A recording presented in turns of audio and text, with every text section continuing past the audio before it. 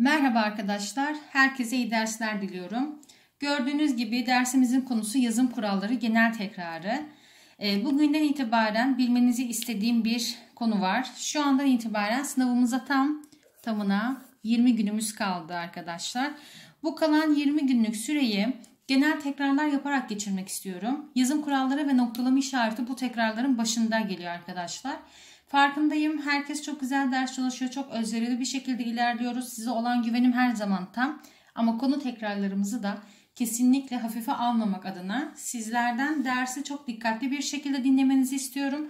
Çünkü bazen arkadaşlarınız öyle sorular atıyor ki e, bildiğinizi düşündüğü maddelerde bile yanlışlık yapabiliyorsunuz. Olabilir. Yanlış yapmakta şu süreç içerisinde bir sıkıntımız yok. Ama yanlış yaparak öğrenmeyi artık e, gerçekleştirmemiz lazım.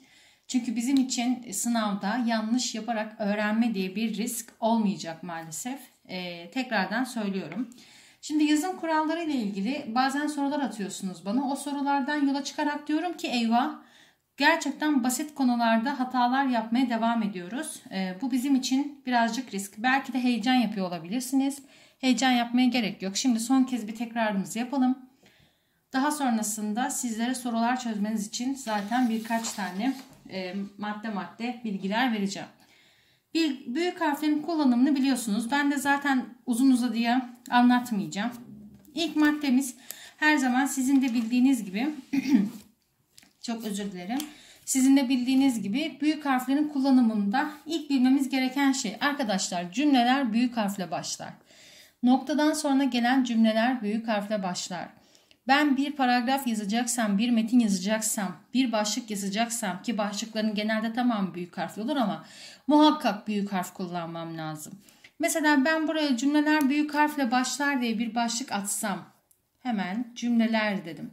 Bakın devamında getirmem gereken kelimeler küçük harf olacak. Çünkü benim cümlemin başı her zaman büyük harfle başlar dedim. Bu bir örnekti. Zaten biliyorsunuz. İkinci madde olarak şunları söyleyebilirim arkadaşlar. Şimdi ben bazen cümle içerisinde size aktarmak istediğim e, bazı unsurlar oluyor. Mesela e, cümle içerisinde başka bir cümleden bahsedeceğim. O yüzden diyorum ki mesela cümle içinde başka bir cümle tırnak işareti içerisinde verilecekse nasıl verilebilir? Mesela e, babam kardeşime seslendi diye bir örnek verebilirim. Babam kardeşime seslendi. Bakın bunlar önemli konularımız bizim. Kardeşime seslendi. Şimdi buraya kadar bu aslında bu bir cümle arkadaşlar. İki nokta üst üste tırnak işareti açıyorum. Tekrardan büyük harfle başlamam lazım. Ayşe hadi gel. Ünlem tırnağı kapattım. Yani ben cümle içerisinde başka bir cümleden bahsedeceksem arkadaşlar bu iki nokta işareti içerisinde tırnak işareti açarım ve cümleye tekrardan büyük harfle başlarım. Şimdi bunları biliyor olmamız lazım. Neden? Hocam biz biliyoruz zaten diğerleriniz de vardır eminim. Ama uygulamada arkadaşlar ciddi olarak hala problem yaşayanlarımız var. Lütfen dersi sonuna kadar dikkatle dinleyelim. Şimdi siz biliyorsunuz ki iki noktadan sonra gelen bütün cümleler büyük harfle başlar. Ama burada şuna dikkat etmemiz lazım. İki noktadan sonra cümle niteliğinde olmayan örnekler büyük harfle başlamaz. Mesela ben diyorum ki iki noktadan sonra cümle büyük harfle başlar dedim ya. Şunu yazalım. İki noktadan sonra şimdi aşağıya bir örnek yazacağım. Diyorum ki e, size tavsiyem şu. İki nokta üst üste. Şimdi burada arkadaşlar bir cümle niteliği taşıyorsam eğer büyük harfle başlamam lazım. Ama eğer ki bir örnek vereceksem, bir açıklama niteliği yani cümle niteliği taşımayacaksam küçük harfle ilerlemem gerekiyor. Hemen bakalım. Size tavsiyem şu iki nokta üst üste her zaman düzenli çalışın. Bakın burada bir cümle olduğu için ben büyük harfle başladım. Ama iki noktadan sonra cümle niteliği taşımayan başka bir örnek verecek olursam mesela şu örnek vereceğim. E, raflarda ne yok ki? Raflarda ne yok ki? iki nokta üst üste. Bakın şimdi bir örnek vereceğim. Yani bir cümle niteliği taşımayacağım. Hemen yazıyorum küçük harflerle. Konserve, şeker, kutu, üç nokta yan yana. Aradaki farkı anladık mı? Şimdi iki noktadan sonra eğer ki bir cümle niteliği taşıyorsam büyük harfle başlayacağım. Ama yok cümle niteliğinde değil örnek niteliğinde bir açıklamam varsa arkadaşlar küçük harfle başlamam lazım. Şimdi e, bir madde daha yazalım. Örnek olarak vermeyeceğim ama maddem bulunsun. Arkadaşlar dizeler büyük harfle başlar. Bunu zaten biliyorsunuz dizeler büyük harfle başlar dedik. Bunları zaten biliyorsunuz. Özel isimler büyük harfle başlar. Kişi isim ve soy isimleri büyük harfle başlar. Bunların hepsini şöyle e, ben dersimizi kısaltmak adına kullanıyorum. Büyük harfle başlar dedik. Şimdi bir kişinin isim ve soy isim büyük harfle başlar tabii ki. Bunlarla ilgili herhangi bir e, sorun yaşamıyoruz. Ama özel isimler büyük harfle başlar dediğim zaman bazı sıkıntılar meydana geliyor. Nasıl sıkıntılar? Mesela gün ve ay adlarında e, köy, mahalle, semt isimlerinde bazı karışıklıklar yaşadığımız noktalar vardı. Hemen onları hatırlatmak istiyorum size. Şimdi ben e, özel isimler büyük harfle başlar dedikten sonra şunu açmak istiyorum arkadaşlar. Takma isimler, lakap olarak bildiğimiz takma isimler büyük harflerle başlar. Şimdi mesela Gazi Mustafa Kemal Atatürk derken Gazi'nin G'sinin büyük olması lazım. Yine e, bir yazarın, bir şairin kendi adına kullandığı mahlas mesela Fatih Sultan Mehmet'in şiirler yazarken kullandığı bir takma adı vardır arkadaşlar. Bu takma adı şiirlerin altında Avni mahlasını kullanır. Ben bunu büyük harfle yazmak zorundayım. Kime ait olduğu çünkü özel bir isim Avni takma isim olsa da bunu biliyor olmam lazım. Bunların haricinde arkadaşlar Yine e, kişi isim ve soy isimden önce veya sonra gelen saygı sözü, ünvanlar, lakaplar, meslek ve rütbe adları da büyük harfle başlar. Mesela e, yüzbaşı Hasan derken yüzbaşının y'si büyük olacak arkadaşlar. Yine avukat Mustafa derken bu bir özel isimden önce gelen rütbe olduğu için, meslek adı olduğu için büyük harfle başlamak zorundayım. Özel isimden sonra gelen mesela ne diyebilirim? Ee, öğretmen Zeynep Hanım diyelim. Zeynep Hanım'ın H'sinin büyük olması lazım. Şöyle kağıdımızı ayarlayalım. Ee, hemen daha sonrasında mesela Kadı Mehmet Efendi dedim. Buradaki kadının K'sinin de büyük olması lazım. Şimdi unutmuyoruz. Tekrar söylüyorum. Ee, örneklerimizi bu arada kırmızılarla gösterelim ki herhangi bir karışıklığımız olmasın. Şimdi özel isimden önce ve sonra gelen lakaplar ve ünvanlar büyük harfle başlar dedik. Bakın burada özel isimden önce gelen bir rütbe var. Yine özel isimden önce gelen bir ünvan var. Özel isimden sonra gelen bir saygı sözcüğü var. Yine özel isimden hem önce hem sonra gelen e, ünvan ve saygı sözcüğü var. Bunları her zaman benim büyük harfle başlamam lazım. Hayvanlara verilen isimlerin büyük harfle başladığını zaten biliyorsunuz. E, fakat karışıklık yaşadığımız bir nokta var. Hemen onu da yazalım. Dedik ya e, bazı sözcükler e, büyük harfle başlar. Bunlar neydi mesela? İsimlerden önce ve sonra gelen ünvanlar veya lakaplar dedik. Fakat bu lakapların içerisinde arkadaşlar akrabalık anlamında bir bildiri varsa küçük harfle yazılır. Hemen yazalım.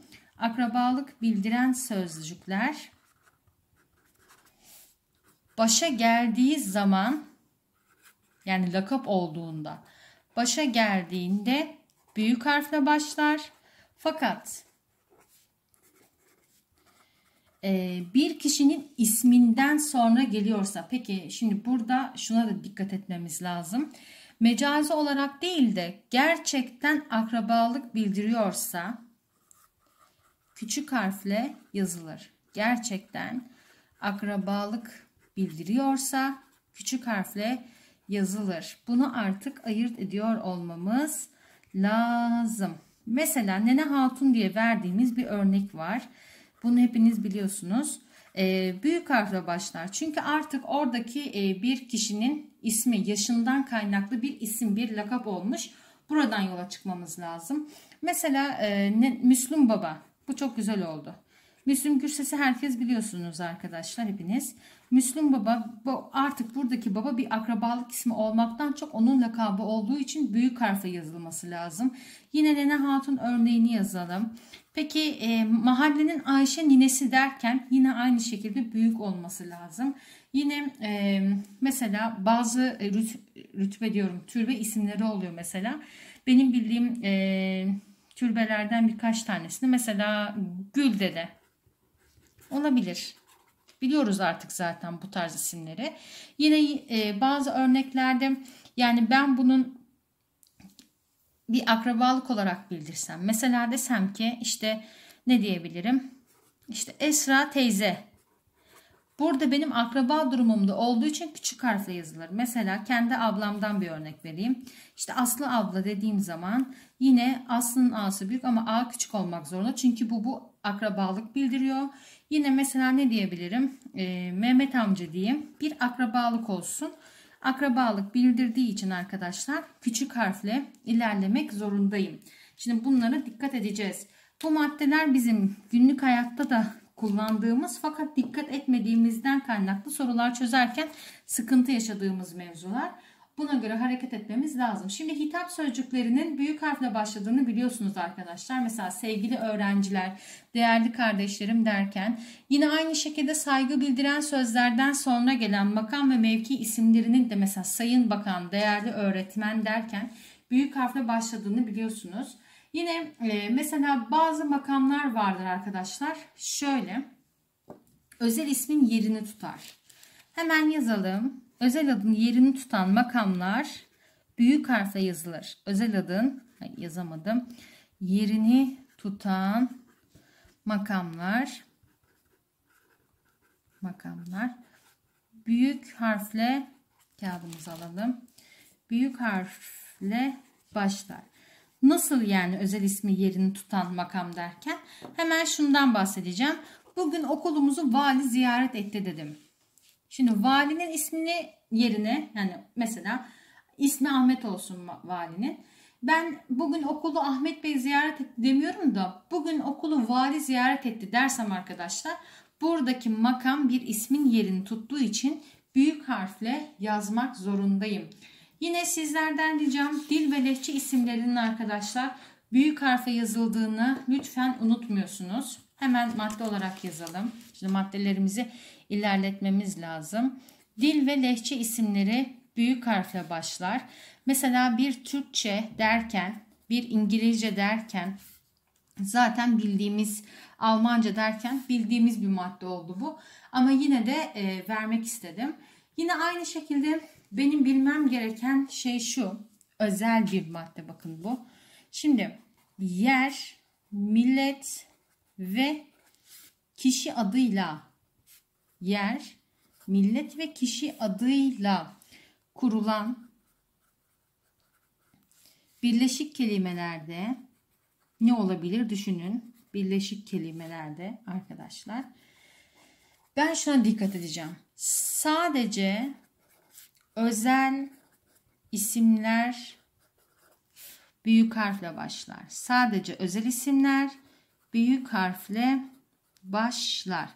Şimdi bunlar genelde e, kullandığımız e, mesela şehirle meşhur olan yiyeceklerde karşımıza çıkabiliyor. Ne olabilir mesela? Şu Antep fıstığı dediğimiz Antep'le meşhur olan fıstık, Antep fıstığı. Yine aynı şekilde e, hiç duydunuz mu bilmiyorum ama Brüksel e, lahanası diyorlar arkadaşlar. Brüksel lahanası.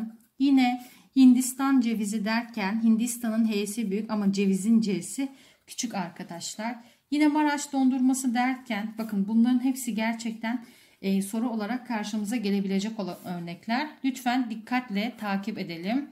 İngiliz anahtarı derken buradaki örneklerimize dikkat etmemiz lazım. Yani mesela ha şunu da yazalım. Geçenlerde bir soruda e, bana Latin alfabesinin L harfi büyük ama A harfi niye küçük diye bir soru geldi. Çünkü arkadaşlar alfabe Latinlerin kullandığı bir alfabe olduğu için Latin alfabesi. O yüzden burada meşhur olduğu tanındığı e, millet ismi ve neyse onu büyük harfle yazıyorum.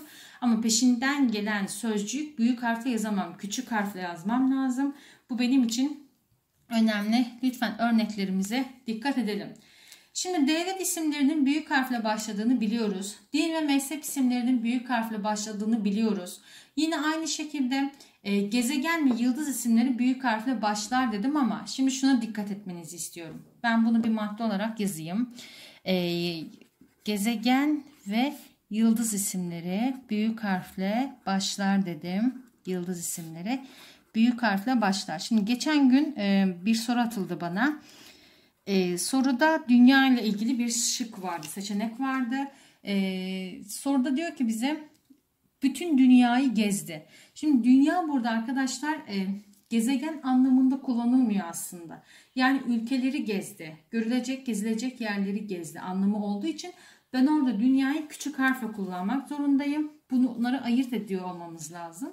Yine e, mesela hani gezegen isimlerini biliyoruz değil mi? Mars, e, Venüs, Dünya, Jüpiter, artık Uranüs yani bunlarla ilgili pek çok örneğimiz var ama ben mesela şöyle bir cümle kurdum cümlemde. E, pardon örnek veriyorum. İşte güneşin dünyaya uzaklığı dünyaya uzaklığı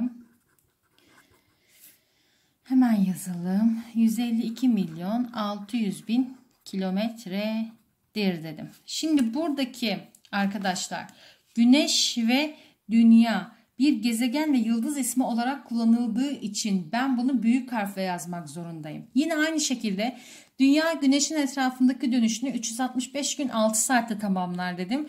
Burada da bir gezegen ve yıldız isimlerinden bahsettiğim için büyük harfle yazmak zorundayım. Ama mesela bir benzetme yaptım. Dedim ki sen benim güneşimsin dedim. Buradaki arkadaşlar artık bir benzetme olduğu için ben bunu küçük harfle yazmak zorundayım. Veya farklı bir örnekte işte diyorum ki dün bütün dünyam sendin. Bütün dünyam sen şöyle kesme işaretini ayıralım kısa çizgiyle sendin.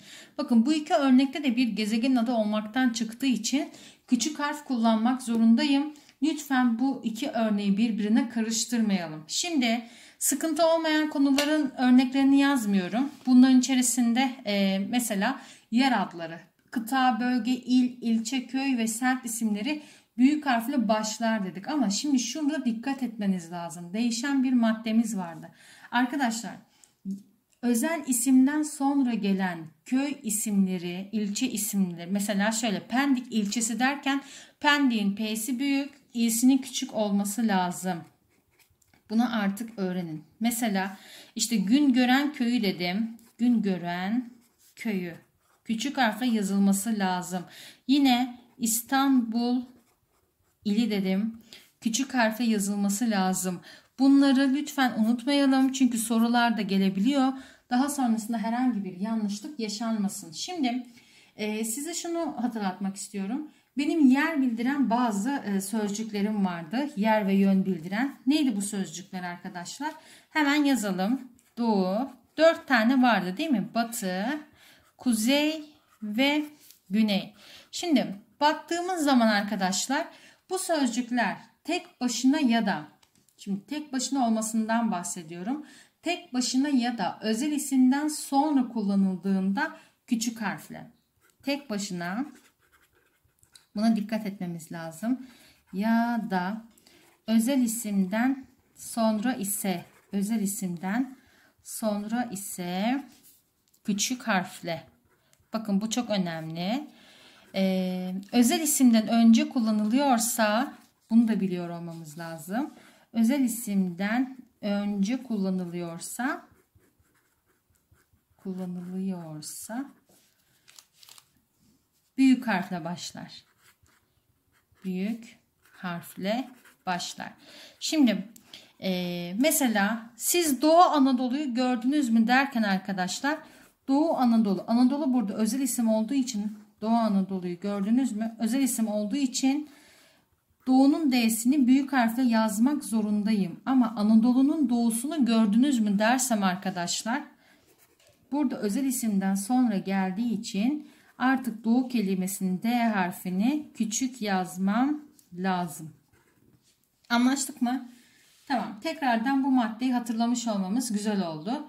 Bu maddelerden sonra büyük harfler birazcık fazla e, yer tutuyor her zaman. E, mesela yer isimlerinden sonra gelen deniz, göl, dağ, boğaz bu tür isimler arkadaşlar her zaman büyük harfle başlıyor. Mesela Ağrı Dağı, Çoruh Nehri, İstanbul Boğazı, Süveyş Kanalı, Avrupa Yakası, Van Gölü derken bu sözcükler büyük harfle başlar. Yine saray, köşk, han, kale, köprü, kule, anıt ve benzeri yapıların bütün kelimeleri büyük harfle başlar. Mesela e, İshak Paşa Sarayı derken hani ben şimdi özel bir yerden bahsediyorum ya. İshak Paşa Sarayı dedim. Bunu büyük harfle yazmak zorundayım. Ankara Kalesi büyük harfle yazmak zorundayım. Galata Köprüsü'nü büyük harfle yazmak zorundayım. Bunlar bizim bildiğimiz maddelerimizdi. Şimdi ben e, şunu söylemem lazım. Bir yer bildiren özel ismim varsa ve ben bu özel isimde kısaltma kullanıyorsam arkadaşlar bu da büyük harfle yazılıyor. Mesela işte İstanbul Boğazı demeyeceğim de Boğazı seyrettik dersem de özelliğini kaybetmediği için ben burada Boğaz'ın B'sini büyük harfle yazmak zorundayım. Biz zaten bununla ilgili bir problem yaşamıyoruz. Ee, hiçbir zaman sizde kurum ve kuruluş ve kurul adlarını küçük harfle yazdığınızı görmedim. Yani Türkiye Büyük Millet Meclisi, işte e, Çankaya Lisesi, Mavi Köşk Bakkaliyesi, Yeşil Ay Derneği mesela bu tarz e, kurum ve kuruluş isimlerini zaten küçük harfle yazan yok aramızda. Yine e, kitap, dergi ve gazete isimlerinin büyük harfle başladığını bilelim çocuklar. Ama şunu dikkat edelim bakın. Şimdi şöyle bir madde yazacağım. Dedim ki kitap ve dergi isimleri büyük harfle başlar dedim ama gazete, dergi ve tablo sözcükleri özel isme dahil değilse büyük harfle başlamaz. Nasıl yani? Şimdi mesela bir dergi var. Derginin ismi gazeteden örnek verelim. Mesela Milliyet gazetenin kendi ismi ama gazete arkadaşlar bu özel isme dahil olmadığı için küçük. Ama bir gazete düşünün. Mesela resmi gazete gazetesi. Anlaşıldı mı? Gazetenin ismi Milliyet olduğu için G küçük. Bu gazetenin ismi resmi gazete olduğu için B, G harfimizin büyük olması lazım. Yine mesela e, tablo isimlerinde de kitap isim e, dergi isimlerinde de Bunları dikkat etmemiz gerekiyor arkadaşlar. Önemli bilgiler bunlar. Şimdi hemen bir arka sayfaya geçelim. Bir iki maddem daha var bahsetmem gereken. Sonra dersimizi bitireceğiz zaten. Şimdi biz e, tarihi olay, çağ ve dönem isimlerini büyük harfle başlıyor, başlıyoruz. Hemen yazalım. E, tarihi olay, dönem ve çağ. Ne gibi mesela? Birinci Dünya Savaşı. Dönem, çağ isimleri büyük harfle başlar. Bunları da biliyoruz ama bazen kafa karıştıran sorular geldiği için kuralları ezbere bilmemiz açısından önemli bir madde. Büyük harfle başlar dedim. Şimdi e, mesela şunu dikkat etmemiz lazım. E, ilk çağ, yükselme devri, milli edebiyat devri, bu tarihi dönem ve çağları zaten biliyoruz. Şimdi dikkat etmemiz gereken şey şu arkadaşlar. Ben bir kitap, makale, tiyatro eseri, kurum adı ve özel isimlerde yer alan kelimelerin ilk harflerini büyük yazdığım zaman e, bunlar ve ile ya veya yahut ki da de sözleriyle mı mi mu mi soru ekiyle gelirse küçük harfe yazılır. Yani kitap isimlerinden bahsediyorum. Şöyle söyleyeyim. Leyla ile Mecnun derken şimdi burada Leyla ve Mecnun özel isim olduğu için büyük harfle ama arada kullandığım ile bağlacı küçük harfle arkadaşlar. Şimdi veya şunu dikkat etmem lazım. Başka bir şey. E, talim ve terbiye kurulu. Demek istediğimi anlatabildim mi? Peki. Buradaki bağlaç küçük. Yine e, bildiğimiz bir kitap suç ve ceza derken arkadaşlar küçük harfle. Yine e, tiyatro eseri olan Vatan yahut Silistre. Bakın buradaki bağlaçlar özel isme dahil edilmediği için küçük harfle yazılması gerekir arkadaşlar. Yine bildiğimiz ulusal, resmi ve dini bayramlar büyük harfle başlar.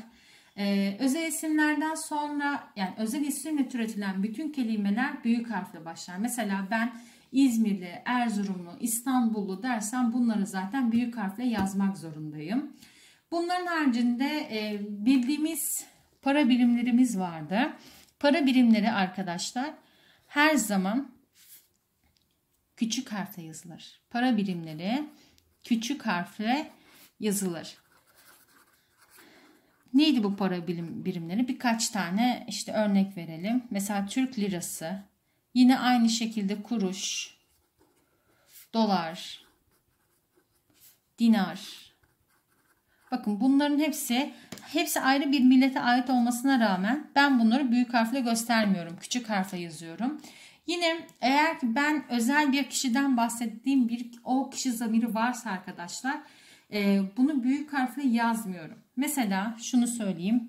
E, tırnak içinde yazdım. O kişi zamiri tabi cümlenin başında değilse yani ilk kelimemiz değilse küçük harfle yazılır. Mesela arkadaşımla konuşurken o geldi dersem buradaki o harfi özel bir kişiyi tutsa bile küçük harfle yazmak zorundayım. Örneğimi de yazayım. Arkadaşımla konuşurken o geldi. Konuşurken o geldi. Çok güzel. Örneğimi de yazdım. Hemen diğer maddeme geçeceğim. Şimdi ben eğer ki bakın bu bizim için çok önemli bir madde hemen söylüyorum. Ben belirli bir tarihi belirtmeyen belirli bir tarih belirtmeyen belirli bir tarih belirtmeyen tekrarlıyorum. Ay ve gün adları büyük harfle başlamaz. Ay ve gün adları büyük harfle başlamaz. Arkadaşlar bazen soru atıyorsunuz. Sorularda gerçekten çok şaşırıyorum. Neden? Şıklarda bunun e, belirli bir tarih bildirmediği zaten o kadar belli ki. Mesela Eylül'ün ikinci pazartesi günü derken e, Eylül cümle başında olduğu için büyük yazarsın ama mesela okullar Eylül'ün ikinci pazartesi günü açılacak derken bu süreç olarak belirlenmiş özel bir tarih değildir. Hep Eylül'ün ikinci pazartesine açılıyor demektir. Buradaki pazartesi gününü büyük harfle yazamazsınız. Yine aynı şekilde mesela e, LGS sınavı Haziran'da yapılacakmış dedim. Haziran'da yapılacakmış. Bu şekilde yazmamız lazım. Bunun için büyük olması için şunu söylemem lazım. LGS sınavı yani nasıl özel bir tarih bildirir? 20 Haziran 2020'de yapılacakmış. Anlaşıldı mı? Şimdi bu maddelere çok dikkat ediyoruz. Büyük harflerin yazılımını ister istemez birazcık büyük tutmak, e, uzun tutmak zorunda kaldım. Bizim için önemli bir konu arkadaşlar. Biz bunu askıya alamayız. Kaldı son 20 günümüz. Hepinize çok güveniyoruz tabii ki. Ama yine de bizim bildiğimizi sandığımız konularda her zaman tekrar yapmak gerçekten son nokta atışı e, olarak bizim işimize yarayacağını düşünüyorum. Büyük harflerin kullanımı ile ilgili bütün e, tekrar etmemiz gereken maddeleri tekrar ettik arkadaşlar.